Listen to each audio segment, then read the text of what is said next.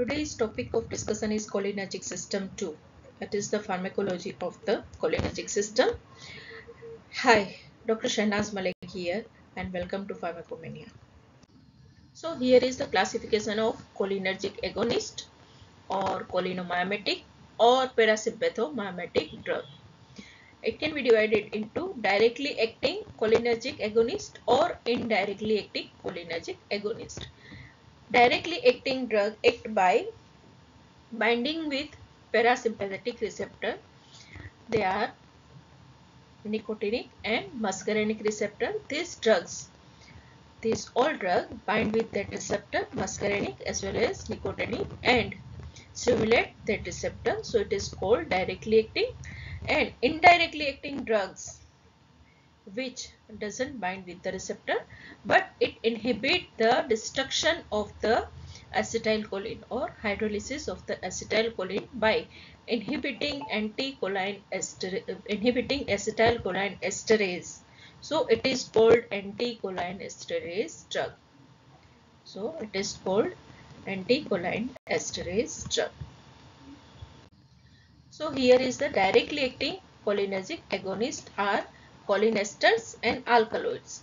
So in cholinester, acetylcholine is the naturally releasing neurotransmitter and we cannot use as a therapeutic purpose because it destroyed immediately after releasing. So methacholine, carbacol and methanacol. They mimic the action like acetylcholine. They metha methacholine, carbacol and methanacol. These all drugs bind with the receptor and act like acetylcholine. Now alkaloid group. Alkaloid group muscarine, pilocarpine and ericoline.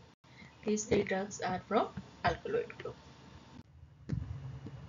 Now directly acting cholinesters are acetylcholine, methacholine, carbacol and methanacol. Acetylcholine is the prototype drug and naturally uh, releasing neurotransmitter. It cannot be used for the therapeutic purpose because it's immediately destroyed by the or hydrolyzed by the enzyme. So its half-life is very short and cannot be used as the therapeutic purpose. So on other way, uh, drugs, other drug like methacholine, carbachol and methanacol. Uh, so methacholine and carbachol are obsolete so they are not used but methanacol is resistant to hydrolyze by 2-cholinesterase as well as pseudocholinesterase. So its half-life is long and it is mainly act on the muscarinic receptor particularly urinary bladder and GI tract but it is devoid of the nicotinic effect. Directly acting parasympathomimetic drug like methacholine, carbachol and methanacol methacholine and carbachol are obsolete so methanacol is only available in the market. And its use are post-operative and postpartum uh, neurogenic bladder or post-operative or postpartum paralytic ileus. So in these both condition where smooth muscle are relaxed atony of bladder or atony of the GI tract. So in this both condition we can give methanacol. So in acute retention of urine 2.5 milligram of methanacol can be injected subcutaneously when in chronic cases 10 to 15 milligram of drug can be given orally with daily meal. In uh, GIT atony, atony without obstruction to expel gases from intestine before radiological investigation or to revert the post-operative or postpartum paralytic ileus of the gut. The drug can be given orally in a dose of 10 to 20 milligram three times a day or to treat salivary gland malfunction like xerostomia. These are the various uses of methanacol. Now, alkaloid group of the directly acting cholinomimetic drug are muscarine, ericoline and pilocarpine. Muscarine and ericoline are not useful in the therapeutic purpose but toxicity can occur due to consumption of this mushroom from the mushroom. In the treatment of mushroom poisoning, parenteral administration of atropine 1 to 2 milligram intramuscularly every 30 minutes. So, muscarine having their uh, cholinergic property. So we have to antagonize by the anticholinergic drug like atropine. Pilocarpine is the tertiary amine, crosses the blood-brain barrier and had dominant muscarinic and mild nicotinic action. So pilocarpine is too toxic for systemic use. So it can be used locally. Now directly acting alkaloid are muscarine, erelcholine and pilocarpine. Muscarine and erelcholine are not used as a therapeutic purpose. So pilocarpine can be used for the therapy but uh, in uh, systemic use it is very toxic. So it can be used as instill into the eye as a 0.5 to 0.4 0.5 to 4 percent solution which reduces intraocular pressure within few minutes to last for the 4 to 8 hours. Now, second use is the to counteract the mydriasis produced by the atropine and to break adhesion between the iris and lens. When iridocyclitis occur, inflammation of iris causes it stick uh, iris to the lens. So, to break the adhesion between the iris and lens, the pilocarpine and atropine can be given alternatively. And second use is the as a xylocoach. Pilocarpine 5 to 10 milligram orally can be used to stimulate salivary secretion in patient after laryngeal surgery or to treat the xerostomia resulting after radiotherapy. Now second group of cholinergic drug is indirectly acting cholinergic drug. It also called as anticholinesterase. So mechanism of action of anticholinesterase is it prevents the hydrolysis of acetylcholine by antagonizing the enzyme choline esterase the, is present at the synaptic cleft. Thus increase the which inhibit the hydrolysis of the acetylcholine and increases the acetylcholine concentration and its action at the cholinergic receptor at both nicotinic as well as muscarinic receptors. So this is the classification of the indirectly acting cholinergic drug. These are reversible and irreversible. So in this reversible group there are two again this is subdivided into two group. First is the carbamates and second one is the non-carbamate group. And first group is the physostigmine, neostigmine, pyridostigmine and rivastigmine. Physostigmine neostigmine, pyridostigmine and rivastigmine. So P and PR. Second group is atroponium, tecrine, donepezil and galantamine. Atroponium, tecrine, donepezil and galantamine. This is the reversible kind of the anticholinesterase. Second group is irreversible and irreversible group carbamate group and organophosphate group. So carbamate group contain carbaryl, propoxur. Propoxur is the baygon which is used for the killing of cockroaches. And next group is the organophosphate group which is used for farming. Diflos, ecothiophat, malathion, diazinon. Diazinon is the T20 which is used for the killing of the rats. Tabun, sarin and soman these are the nerve agent and which are used in the use as chemical warfare agents. So this is the mechanism of anticholinesterase. This is acetylcholine and it is hydrolyzed by the cholinesterase.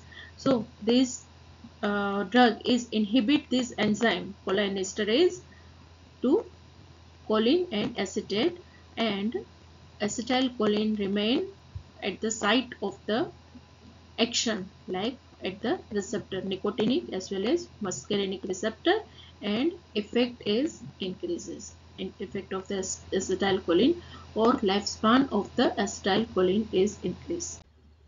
This is cholinesterase enzyme which is having two sites, anionic site and asteretic site. In process of degradation of acetyl acetylcholine, quaternary nitrogen bind with the anionic site and carbon acetoxic group bind with the hydroxy group of the esteric site of serine residual of the acetylcholine esterase. Now, this enzyme substrate complex is formed this enzyme this is enzyme and this is substrate complex is formed. Now cleavage of this substance enzyme substrate complex at the asterisk site link. Cleavage of this link at the asterisk link.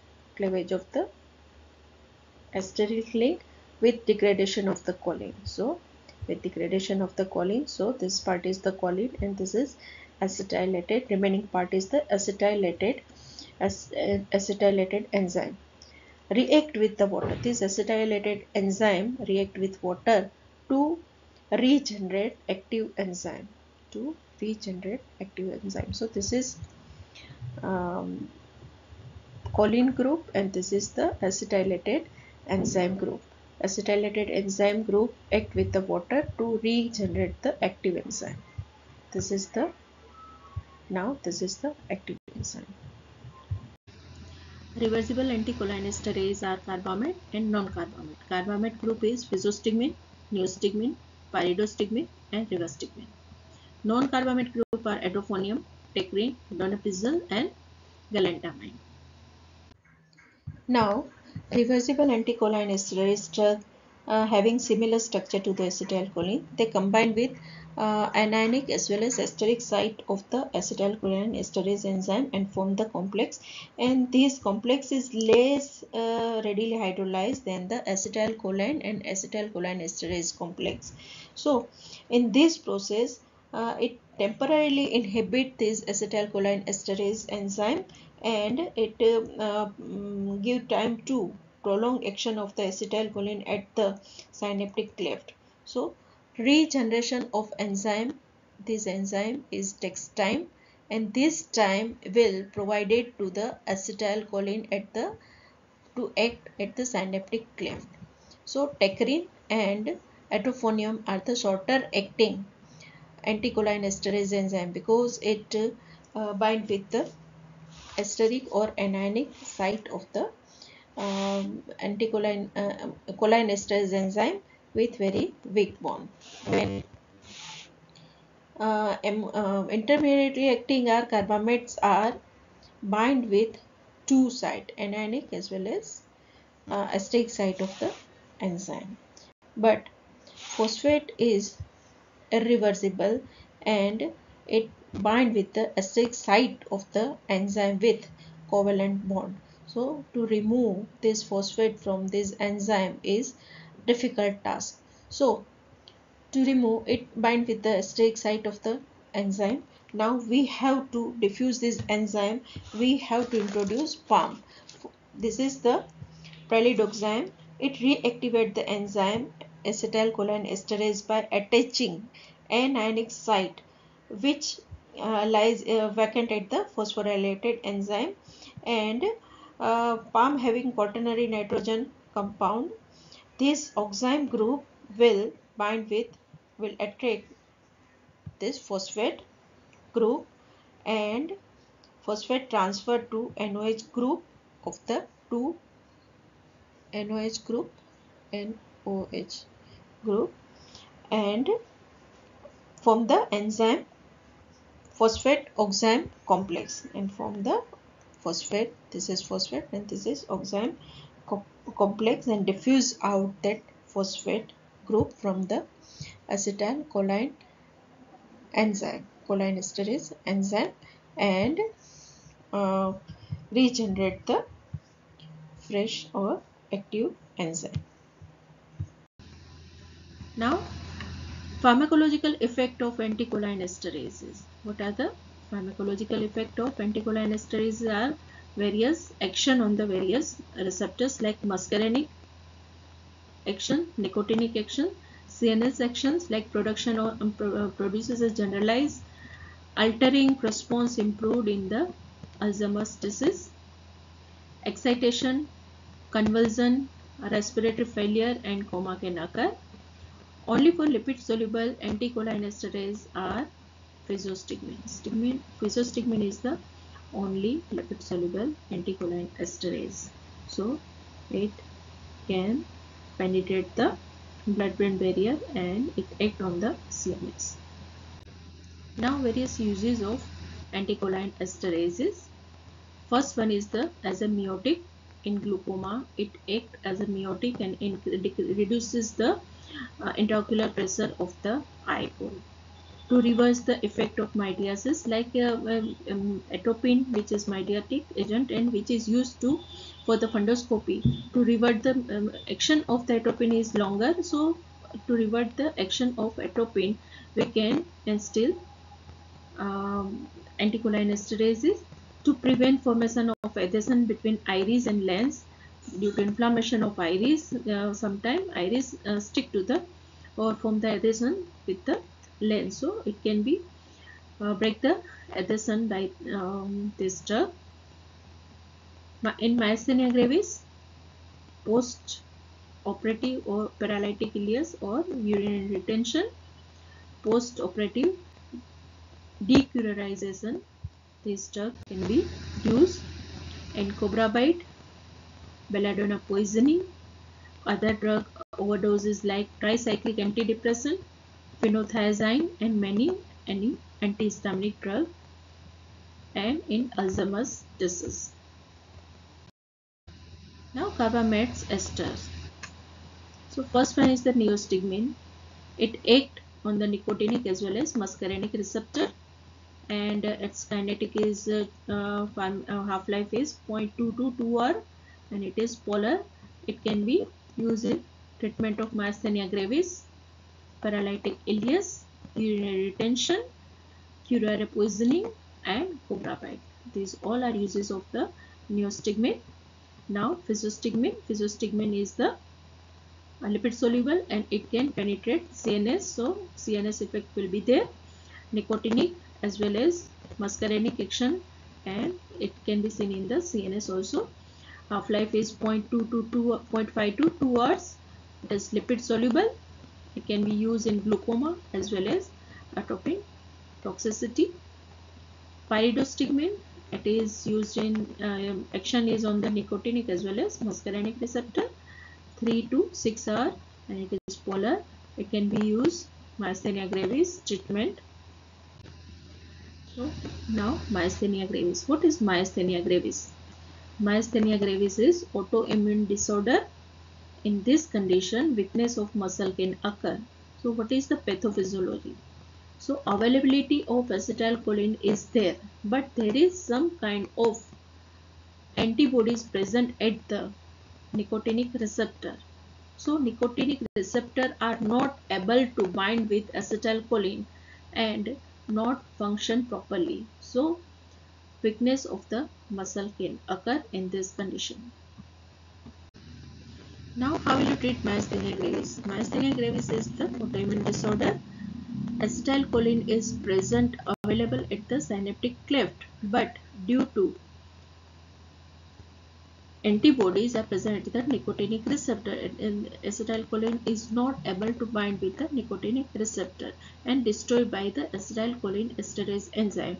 So neostigmine and pyridostigmine is the drug which inhibit the acetylcholine esterase enzyme and increase the lifespan of acetylcholine which can uh, help to increase the activity of nicotinic um, cholinergic activity Second drug is the immunosuppressant which are corticosteroid like prednisolone, azathioprine or cyclosporine. These all drugs are immunosuppressant drug because myasthenia gravis is autoimmune disorder. So this drug can helpful in this condition. Plasmapheresis can done or thyroidectomy is the permanent solution for the myasthenia gravis. Now myasthenic crisis and cholinergic crisis. Both the condition are different but symptoms will appear similar. So how will you decide which crisis is there? So let's see. A result in myasthenia crisis, the result of the disease exacerbation or uh, precipitating event most commonly is a Uh, respiratory infection. It is severe generalized muscle weakness with respiratory and bulbar weakness.